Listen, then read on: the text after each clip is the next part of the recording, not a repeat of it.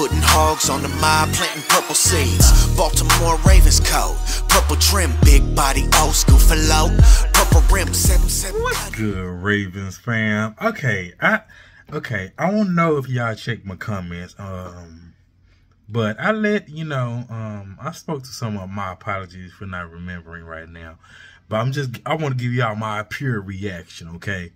So, um, uncut, un, you know, filtered and all this stuff. Okay, so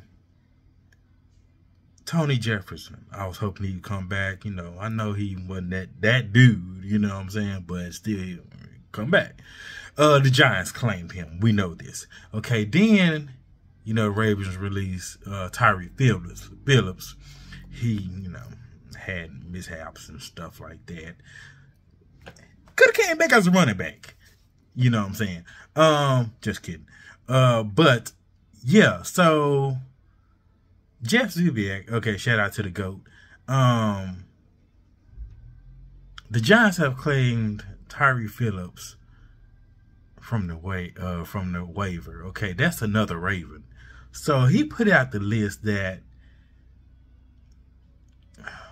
all of these ex Ravens that they picked up. Is it a, it's a New York thing?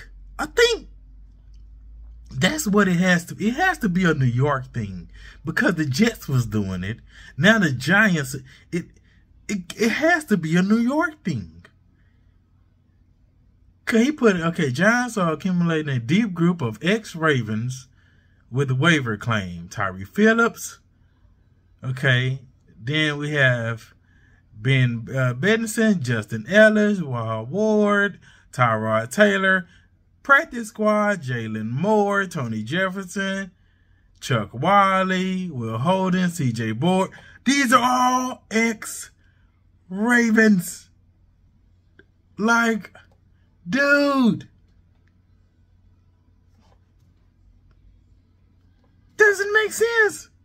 It doesn't make sense. I bet you if we release somebody else, the Jets or the Giants gonna get them. It's gonna be one of them.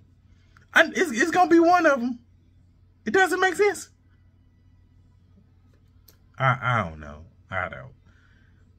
I don't know. I just, it, it, it doesn't make sense.